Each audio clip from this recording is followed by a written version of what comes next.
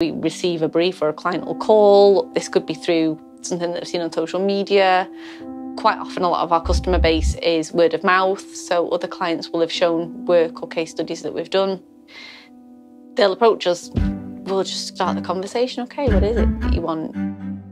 Do you have a budget? So, understanding the client's needs is an absolute must. From there, we need constraints. Where is it going? What are our restrictions? Will we even get it through the doorway? So, how many how many smaller bits do we need? And just keeping that communication open and quite free, your iteration organically happens.